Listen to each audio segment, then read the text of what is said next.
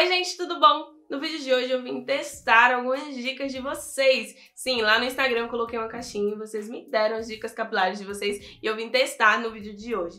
E esse aqui é o resultado o que, é que vocês estão achando aí do cabelo? Me conta aqui nos comentários e me deixa aqui também a sua dica. Se a sua dica não aparecer ao longo desse vídeo, me deixa aqui nos comentários, porque aí eu venho testar e fazer uma parte 2 desse vídeo. O que, é que você acha? Então, se você quiser saber como que eu fiz para ter esse resultado aqui, é só continuar assistindo. Eu já estou aqui, pronta para finalizar o cabelo, seguindo as dicas de vocês, mas antes eu vou contar tudo que eu fiz até chegar a esse ponto aqui, né? Com outras dicas que vocês me deram e depois a gente vai finalizar o cabelo. Seguindo a sequência de dicas até chegar à finalização, a primeira dica foi umectar o cabelo antes da lavagem. Eu já costumo fazer isso algumas vezes, mas na dica ela falava que fazia isso todas as vezes, todas as lavagens. Eu fiz isso na lavagem anterior porque fazia parte da rotina que eu queria pro dia e fiz hoje também. Mas como eu já tinha muito coco na rotina de hoje, eu já ia usar alguns produtos com coco, eu decidi umectar o meu cabelo com azeite de oliva extra virgem. Então, antes de todo o processo começar, antes da lavagem, na verdade, umas duas, três horas antes de lavar o cabelo, eu passei o óleo de azeite de oliva no meu cabelo todo e depois de esperar o tempo da umectação, eu segui para a lavagem do cabelo. Eu usei hoje o shampoo Cachos de Cinema da Embeleze e lavei o cabelo normalmente, lavando só a raiz. Eu gosto de fazer sempre assim, lavo a raiz e deixo a espuma escorrer pelo comprimento, limpando. Mesmo que eu tenha feito umectação, isso pra mim é o necessário pra tirar o óleo do cabelo, tá? Então, é um shampoo liberado pra low pool e a sua espuma é o suficiente pra tirar a umectação pra mim, tá? Seguindo então, depois da lavagem, eu venho para a segunda dica de vocês, que é aplicar a máscara depois do condicionador. Isso mesmo. A gente vai inverter a ordem aí. Ao invés de aplicar a máscara e depois o condicionador, a gente vai aplicar o condicionador primeiro e por cima do condicionador a máscara. Essa é uma técnica que eu nunca tinha testado e eu dei meio que uma olhada e ela foi criada pela Diva Curl e consiste em, se o seu cabelo tá com pH muito desregulado, gente, é só meio que o que eu vi assim por cima, tá? Eu não fui muito a fundo na razão dessa técnica, mas pra explicar pra vocês aqui, mais ou menos isso. É, se o seu cabelo tá com pH muito desregulado ou você tem a porosidade muito alta, essa técnica serve como, tipo assim, você passa o condicionador, o condicionador ele vai reequilibrar ali o pH do seu cabelo é, se você tá com a cutícula muito aberta, então ele vai dar uma reequilibrada e fazer com que ao aplicar a máscara, seu cabelo absorva melhor os nutrientes da máscara. E foi isso que eu fiz. Eu apliquei o condicionador Cachos de Cinema no meu cabelo todo, uma quantidade assim boa, apliquei pelo meu cabelo todo e sem retirar o condicionador, eu apliquei a máscara Voo de Coco da Grifos e deixei agir o tempo de ação da máscara. Então, esperei 3 minutinhos, que é o tempo de ação da máscara, enxaguei e quando eu enxaguei o cabelo, eu me surpreendi realmente, porque eu senti assim o cabelo com a emoliência muito maior, eu senti o cabelo macio, hidratado, desembaraçou muito fácil. Eu tô tendo é, problema assim com o cabelo embaraçando, então o cabelo desembaraçou muito mais rápido e assim, me surpreendi. E agora vamos para a finalização. E eu tenho algumas dicas aqui para esse passo. A primeira é finalizar com o cabelo bem molhado. Vocês já sabem, né, quem segue aqui no canal sabe que eu costumo fazer isso. Então, como já faz um tempo, né, que eu saí do banheiro, eu vou dar uma umedecida aqui com o meu velho guerreiro borrifador. Então, finalizar com o cabelo bem molhado é a terceira dica desse vídeo.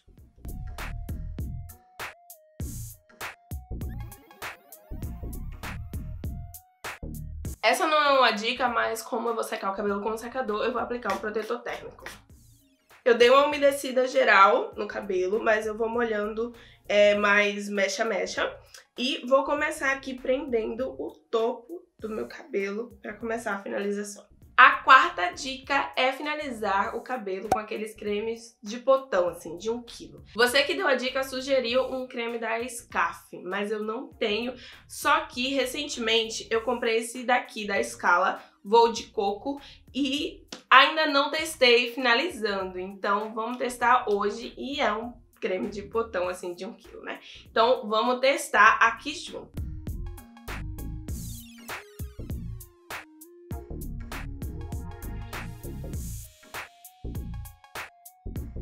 Então vamos lá. Cabelo bem molhado, creme de 1 kg devidamente aplicado. E agora a próxima dica é fazer fitagem com pente fino.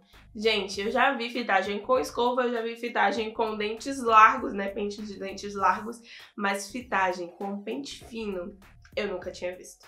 Pelo menos não é muito minha praia. Então eu peguei o pente mais fino que eu tenho aqui em casa, que é esse daqui que eu uso pra dividir o cabelo na hora que eu vou cortar. E vamos fazer a fitagem com ele, né? Primeiro eu vou começar penteando assim, pra espalhar mais o produto. Puxei o brinco.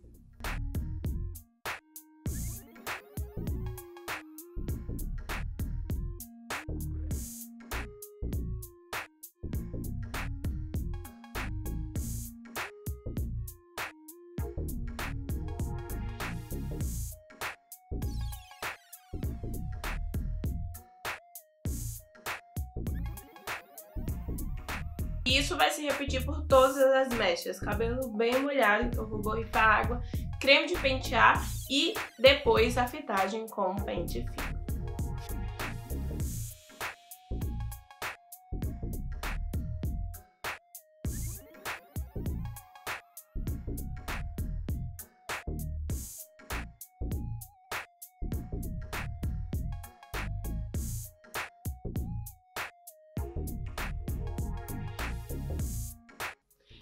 Finalizado com a fitagem e a próxima dica é aplicar um pouquinho de ativador de cacho nas pontas do cabelo. Ela falou que depois de finalizar o cabelo apenas com creme, ela pega um pouquinho de ativador. Eu só tenho esse daqui, que é o vinagre de maçã da Salon Line, e aplica nas pontinhas do cabelo. Então vou pegar bem pouquinho assim, ó, pro meu cabelo todo, porque ele é um pouco mais oleoso. Vou pegar e aplicar só assim por cima, sabe? A próxima dica é não retirar o excesso de produto do cabelo. Eu também não faço isso, eu não costumo amassar o meu cabelo com toalha de algodão ou com algum outro pano, tecido que retire o excesso de produto. Eu amasso meu cabelo só com as mãos e eu acho que isso é o suficiente. Eu não acho que fique excesso de produto, sabe? Se tiver algum excesso, meu cabelo gosta, então eu não amasso com nenhum pano, nem nada. Então, não retirar o excesso de produto é a próxima dica. E a próxima dica é não amassar freneticamente o cabelo. Ela falou que amassa o cabelo uma vez só e é o suficiente. Então, a gente vai fazer isso agora em cada parte do cabelo, só uma vez e solta. Uma vez e solta.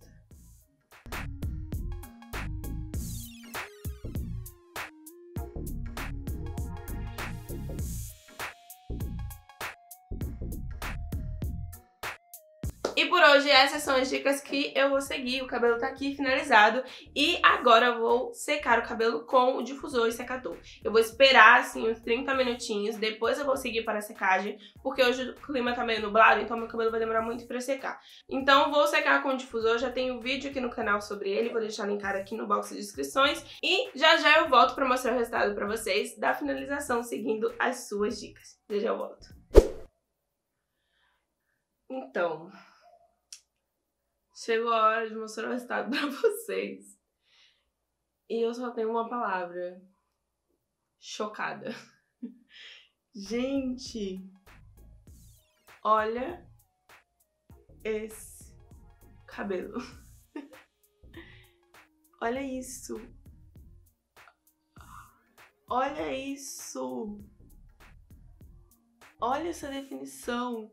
Tinha uma outra dica também que apareceu lá no Instagram e quase que eu esqueci de fazer, que é aplicar um pouquinho de creme depois da finalização, depois do cabelo seco. Eu também costumo fazer isso porque às vezes no processo de secagem o cabelo acaba bagunçando um pouco, principalmente aqui embaixo. Eu normalmente volto com um pouquinho de creme. Aqui embaixo, o que acontece?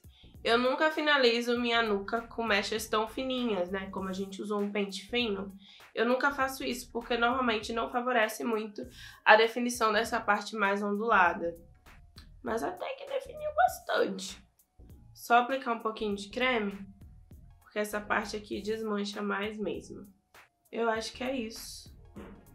Não vejo necessidade de aplicar em mais lugares. Bom, então esse aqui é o resultado. Eu achei que ficou com bastante definição, bem, bem brilhoso. O cabelo tá bem brilhoso, nutrido assim, hidratado. Gostei bastante, me surpreendi realmente com esse resultado. Agora eu vou recapitular um pouquinho aqui as dicas que a gente utilizou hoje e vou falar uma opinião sobre cada uma delas, o que é que eu acho que mais valeu a pena, o que é que eu continuarei fazendo e tudo mais.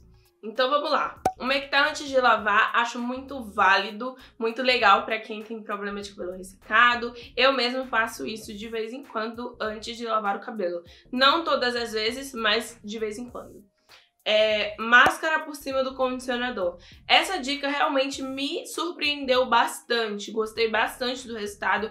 Vou testar mais vezes, né? Vou testar mais vezes essa técnica e achei que sim contribuiu para o resultado final do cabelo, para essa definição, para esse brilho, para esse cabelo saudável, nutrido e maravilhoso que a gente está vendo aqui. É finalizar com o cabelo bem molhado. Eu já faço isso, então eu super aprovo essa dica, super recomendo para todo mundo. O creme de 1 kg, né? Hoje a gente utilizou esse aqui da escala, vou de coco. Não, óleo de coco da escala. E eu gostei bastante do resultado. Acho que sim, né? O creme contribuiu para esse resultado. Não sei em questão de durabilidade. Eu usei menos creme do que normalmente eu uso, porque o creme ele é mais aquoso e eu estava com bastante água no cabelo, então não senti necessidade de usar tanto creme. Mesmo assim, o resultado foi bem satisfatório. Então gostei do creme de pentear, né? Dessa escolha para creme de pentear e vou testar mais vezes. Fitagem com pente fino, gente, confesso que esse foi mais diferente para mim. Eu gostei do resultado final porque tão, as mechas estão fininhas, né? A gente tem bastante definição, mas eu não achei que o pente ele foi tão válido na questão de alinhar o cabelo, desembaraçar bem o cabelo. Eu não sei. A escova que eu costumo usar, ela pega mais cabelo, ela alinha mais, define mais. Então eu acho que essa definição que eu estou vendo não é muito creditada ao pente, tá? Eu acho que o pente deixou só as mechas fininhas, mas não auxiliou na definição. Então, em relação a isso, eu acho que eu continuarei com as escovas que eu normalmente uso ou com os dedos. Ativador de cacho nas pontas, eu gostei bastante, acho que sim, né, o ativador contribuiu para a definição, para o brilho, para a nutrição, gostei, eu já costumo usar, quem sabe agora eu vou atrás de outros, né, para testar outros ativadores de cacho, porque eu gostei do resultado. Não retirar o excesso de creme, eu também faço isso e recomendo, né? Porque eu, eu acho engraçado esse conceito de excesso de creme.